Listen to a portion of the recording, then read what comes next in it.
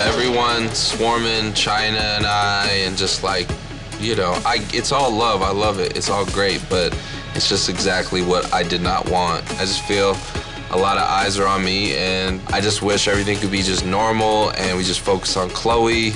I'm not about the whole like theatrics and stuff.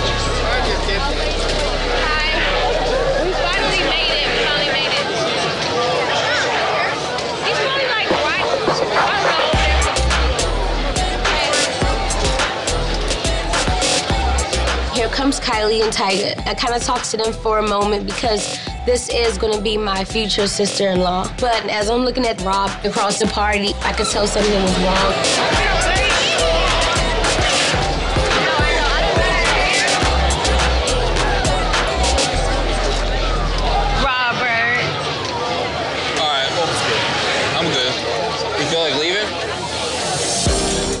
The future Mr. and Mrs. Kardashian. They're cute, complicated, Are you still texting bitches? Yes or no? and they're about to become family. That's what I always wanted.